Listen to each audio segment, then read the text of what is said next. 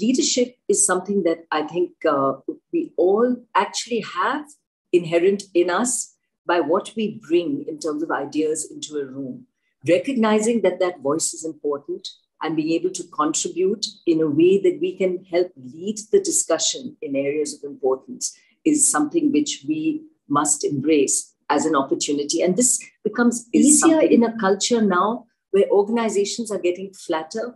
There's far more recognition of diversity of ideas, uh, the desire to have a mix at the top, not just gender, but across race, creed, geography, is all very much part of the way uh, the new leadership mantra is working, which helps give each of us a voice and helps each of us actually seize the opportunity to be the leader in the room.